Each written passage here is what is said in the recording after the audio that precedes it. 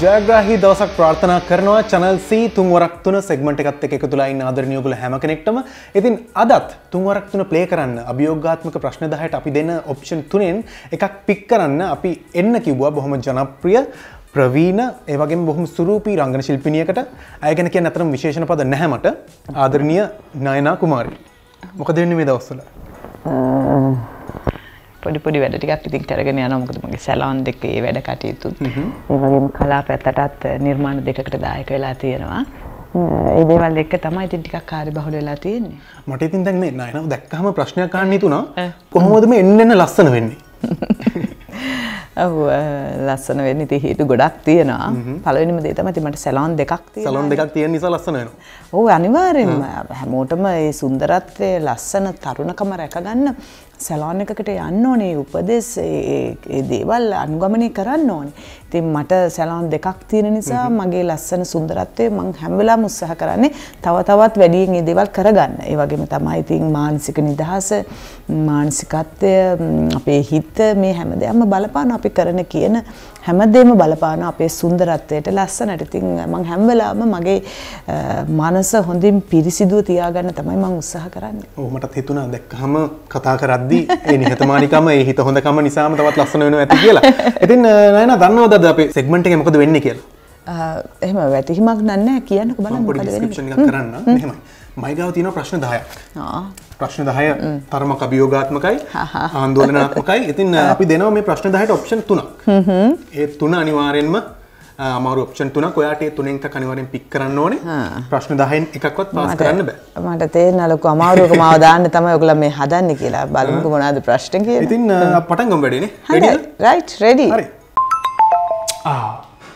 Add එකක් නිසා මුණැබුල්ල නේද අවුල නෑ මවගලට සුබම සුභාරංචයක් ගෙනාව ඕගලොන්ටත් අදම මේ වගේ ලස්සනම ලස්සන හොන්ඩ ග්‍රාසිය බයික එකක් දිනාගන්න ඕන්න දැන්ම විසිතුනය කළට කොල්ල දෙන්න අපේ පළවෙනි ප්‍රශ්නය. අලුත් පරම්පරාවේ රංගන ශිල්පිනියන් අතරින් දැන් ඔබ බොහොම ප්‍රවීණ කෙනෙක්නේ අලුත් පරම්පරාවේ රංගන ශිල්පිනියන් අතරින් වඩා දක්ෂ රංගන ශිල්පිනිය කවුද? එක තිසුරු යුවනිකා දෙක ශලනි තාරකා තුන උමාලි තිලකරත්න. කවුද වඩා දක්ෂ රංගන ශිල්පිනිය? මං උමාලිත් එක්කනම් එහෙම ලොකුවට වැඩ කරලා නැහැ.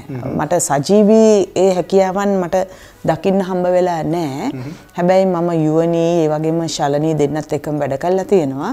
මට හිතෙනවා මේ මේ තුන්දෙනාම එක හා සමාන දක්ෂයි. හැබැයි ශලනී ටිකක් ඉදිරියෙන් ඉන්නවා වගේ කියලා මට දැනෙනවා.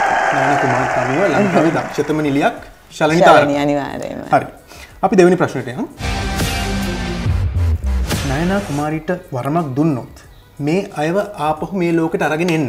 දැන් මේ අය මේ වෙද්දි අපේ අතර නැහැ. හැබැයි ඔයාට වරමක් තියෙනවා මේ අයව ආපහු අපේ ලෝකෙට අරන් එන්න. කාවද අරන් එන්නේ කාටද ආපහු ජීවිතය දෙන්නේ?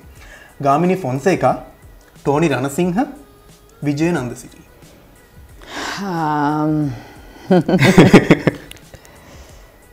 බොහොම හොඳ මහතුරු තුන් දෙනෙක්.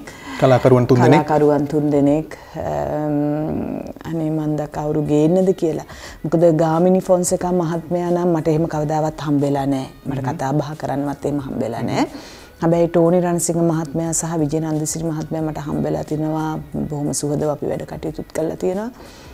බැයිද දෙන්නවම අපි මට ගේන්න? දෙන්නෙක් අපි එක්කෙනෙක් ගියමු. මුලින්. එහෙම වුණොත් ඉතින් මුළු රටමත් පුදුම විදිහට විජේනන්ද සිරි මහත්මයාට ආදරය කරනවා.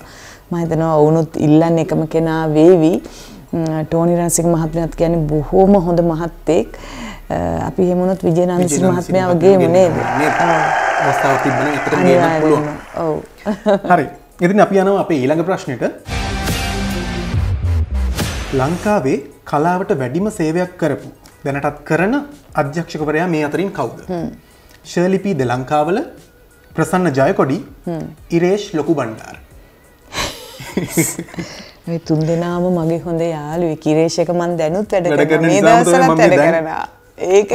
මම හරි නරකයි එහෙම හිතලා ඔම කරන එක. හැබැයි ඉතින් මෙහෙම මම මේ තුන් දෙනාත් එක්කම වැඩ කරා තුන් දෙනාම පුදුමාකාර දක්ෂය. අපේ අලුත් පරපුරේ ඉන්න ගොඩක්ම දක්ෂ හැබැයි ඔය අතරිනුත් ප්‍රවීණෙක් වෙන්නේ ප්‍රසන්න අයියා. ප්‍රසන්න අයියා කියන්නේ ඉතින් දක්ෂයෙක්. ප්‍රසන්න අය ගැන තම මට කියන්න තියෙන්නේ. ශර්ලි කියන්නේ මගේ අති හිතවතේ හැබැයි ඉතින් තුන් දෙන අතරින් ප්‍රසන්න ජයකොඩිව තෝරගන්න. ප්‍රසන්න ජයකොඩි තමා දක්ෂයා. හරි. අපි යනවා අප ඊළඟ ප්‍රශ්නයට නයන කුමාරිට අනුව මේ අය අතරින් ඔයට පහස්සුවෙන්ම පෙම්වතියගේ චරිතය කරන්න පුරුවන් මේ අයගෙන් කාගෙක් එක්කද? කියන එක තමයි මං අහන්නේ ප්‍රශ්නේ. කමල් අදරාරච්චි චන්න පෙරේරා. අනිත් එක නම කවුරු කියකද හිතන් ඉන්න.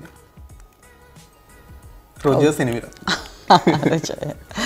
එහෙනම් ඉතින් මං දෙන උත්තරේතුවා දන්නවනේ කවුද කියලා?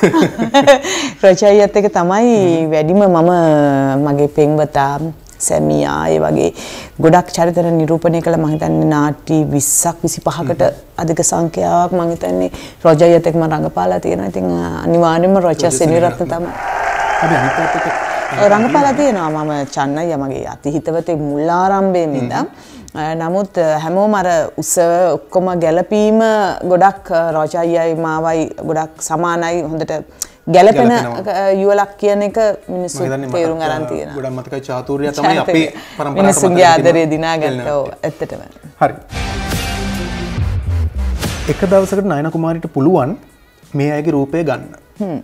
එක දවසකට කාගේ ස්වරූපය ගන්නද නයන කුමාරි කැමති දිල්හානි එකනායක සබීත පෙරේරා සංගීතා වීරණත්න මන්නන් කැමති ඉතින් නයනා කුමාරිගන් සුරූපයෙන් ඉන්න තමයි. දවසට අපි චාන්සිකක් ලැබෙන වෙනසකටත් එක්ක කාගේ හරි රූපයක් ගන්න ලැබුණ එහෙම වුණොත් සබීත අක්කට මං කැමති වේවි. මොකද සබීත අක්කට තියෙන්නේ අපේ සිනමාවේ කලාවේ රංගන ශිල්පිනියන්ට නැති ලස්සන ඇස් දෙකක්. සබීත අක්කටම ආවේනික වෙච්ච ඇස් දෙකක්. ඉතින් මං එහෙම වුණොත් සබීත අක්කා වෙන්න කැමති දවසකට හරි. දවසට හරි නයන කුමාරි කැමතිලු. සබීත පෙරේරා වගේ වෙන්න. හරි. මගේ ඊළඟ ප්‍රශ්නය. මේ අය අතරින් වඩාත් දක්ෂ රංගන ශිල්පියා කවුද? ශිල්පියා. ශිල්පිය. ජක්සන් නැන්තනි මහේන්ද්‍ර පෙරේරා ශ්‍රියන්ත මෙන්ඩිස්. තුන් දෙනාම එක හා සමානම දක්ෂයිනි කොහොමද තෝරන්නේ ඒක නෙවැඩි. කුමාරිට අනුව අපි. එකන එකනකට සාපේක්ෂයින හැමදේම දකින ඔව්. අපි නයන කුමාරිට අනුව කවුද මේ අතරින් වඩාත් දක්ෂ කියලා කියමු?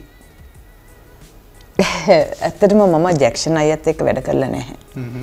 මම ජැක්ෂන් අයගේ දක්ෂකම හොඳින් හඳුනාගෙන තියෙනවා. නමුත් මට සජීවී මං ජැක්ෂන් අයියා රංගපානවා ඒකට එන ඒ ඒ දේවල් මං ඇත්තට මගේ ඇස් දෙකෙන් දැකලා නැහැ. හැබැයි මම මේ අනිත් දෙන්නත් එක්ක වැඩ කටයුතු හොඳින් කරලා තියෙනවා. ඉතින් ඒක නිසා ශ්‍රියන්ත අයියත් එක්කත් මම ගොඩක් වැඩ කරලා තියෙනවා. මහේන්ද්‍ර අයියත් එක්කත් මම වැඩ කරලා තියෙනවා.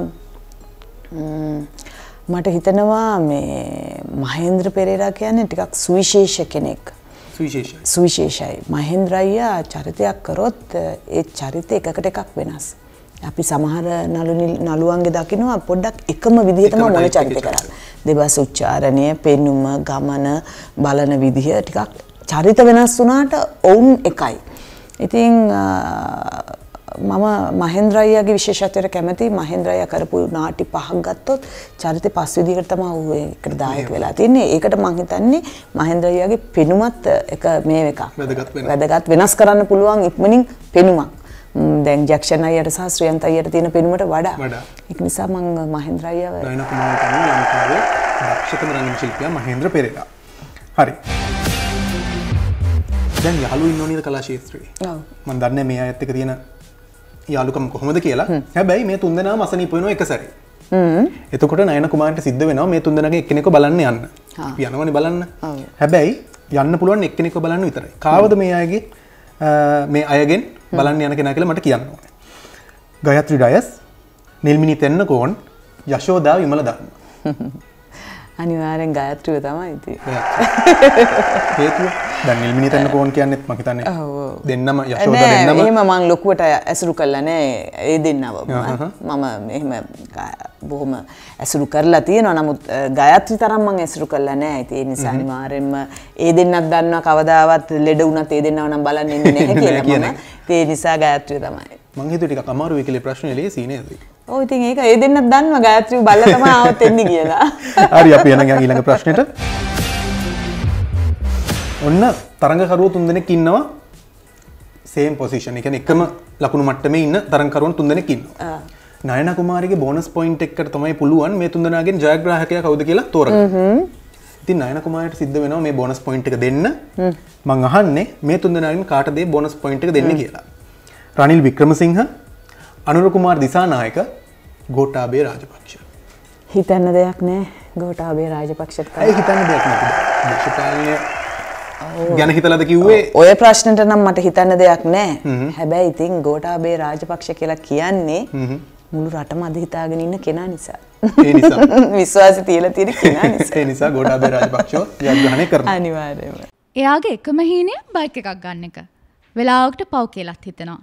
ඒත් මට කොහෙන්ද යාට බයික් එකක් කරන් දෙන ලක්ෂ තුනක්. ඔය විදිහට හිතේ තිනොත් තමයි මම මේ ඇඩ් එක දැක්කේ. ඔබේ දුරකතනයෙන් විසිතුනයේ කොළහට දැන්ම කෝල් එකක් අරගෙන අලුත්ම අලුත් දිස්නෙ ගහන හොන්ඩ ග්‍රාසියා බයික එකක් දිනාගන්න. මට දැන් හිතෙනවා එයාගේ බයික් හින සැබෑ කරලා දෙන්න මට පුළුවන් වෙයි කියලා. ඔයාගේ පෙමතාට බයික් එකක් කරන් දෙන්නවා කැමතිද? එහෙනම් දැන්ම විසිතුනය කොළහට කෝල් එකක් ගන්න. හරිම ලේසින් උත්තර දුන්න අන්තිම ප්‍රශ්නේ මට තියෙන්නේ අහන්න. නයනට අනුව ශ්‍රී ලාංකීය සිනමාවේ වර්තමානයේ ඉන්න දක්ෂතම රංගන ශිල්පියා කවුද? සාරංග දිසාසේකර, රොෂාන් රවීන්ද්‍ර, උද්දික ප්‍රේමරත්න. තුන් දෙනාම දක්ෂයෝ. උද්දිකත් මගේ හොඳ හිතවතෙක්. ඒවගේම තමයි රවින්ද්‍රත්. ඒවගේම තමයි සාරංගත්. මංහිතන්නේ මේ අපේ වර්තමාන ඉන්න දක්ෂයම තුන් දෙනා ඔයා හොයලා තියෙන අයිත් වෙන කතාවක් නෑ හැබැයි මම මේ උද්දික එකත් වැඩ කල්ලා තියෙනවා රවින්ද්‍ර එකත් වැඩ කල්ලා තියෙනවා සාරංග එකත් වැඩ කල්ලා තියෙනවා සාරංගට මන් ටිකක් විශේෂයි හේතුව තමයි සාරංග එක මම වේදිකා නාට්‍යක රංගනදායකුණා සුපිරියටම ඇට් කරන. ඉතින් වේදිකාවක හොඳ රංගනයක් කරන්න පුළුවන් කියන්නේ ලේසි පහසු දෙයක් නෙමෙයි. ඉතින් දැන් මං අර දෙන්නගේ එහෙම වේදිකාව තුල මට එහෙම හම්බෙලා නැහැ. ඇත්තටම සාරංග කියන්නේ අපේ දක්ෂ නළුවෙක් වෙලාවකට සාරංගගේ හැකියාවට සාරංගට හොඳ චරිත සමහරක් වෙලාවට ලැබිලා නැතුව ඇති. අධ්‍යක්ෂක කෙනෙක් සාරංගකෙන් හරි ප්‍රයෝජන අරන්නේ අදට මං හිතන්නේ.